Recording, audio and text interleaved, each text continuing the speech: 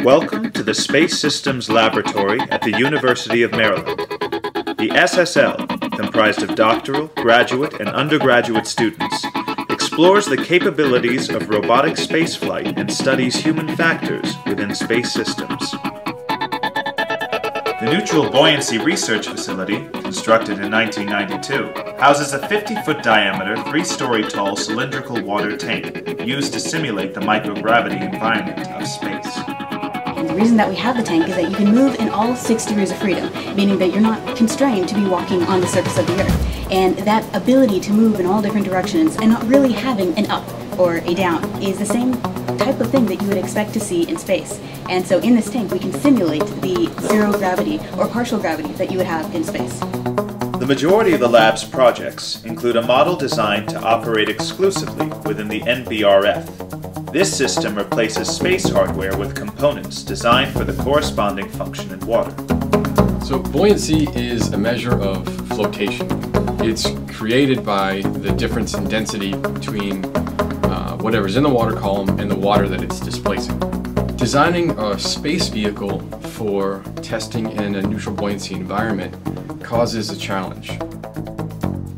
In a neutral buoyancy vehicle, uh, you want to make sure that your structure is airtight so that the water that you're floating in doesn't get into the vehicle and affect your electronics.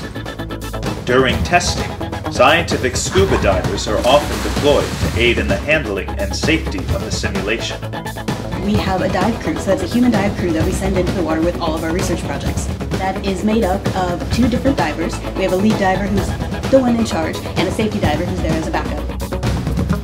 Dive operations are monitored from the control room, which overlooks the dive deck. Cameras within the tank deliver live video feeds that allow controllers to observe and communicate with the divers and robotic systems. The SSL also operates the Advanced Robotics Development Laboratory.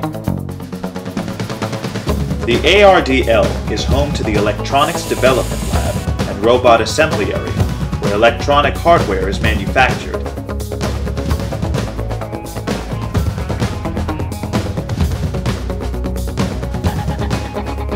Once constructed, the hardware can go through environmental test chambers that simulate changes in temperature and pressure experienced during space and atmospheric flight. Okay, so designing electronics for space is an interesting problem because you can't use the same electronics that you use on the ground. If I was to bring up a laptop and use it as the main computer in a satellite, it wouldn't work because of uh, radiation. You get radiation from the sun, you get background radiation from the, the, the cosmos itself. The SSL also designs astronaut equipment, ranging from robotically actuated gloves and suits to advanced helmet displays. Another area of research focuses on habitat design and human factors study.